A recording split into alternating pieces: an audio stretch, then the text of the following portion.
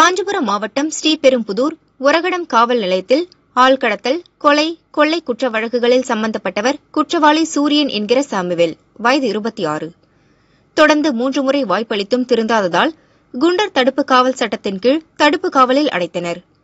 காஞ்சிபுரம் மாவட்ட எஸ்பி சுதாகர் பரிந்துரையில் காஞ்சிபுரம் கலெக்டர் கலைச்செல்வி மோகன் ஓராண்டு தடுப்பு காவலில் வைக்க உத்தரவிட்டார்.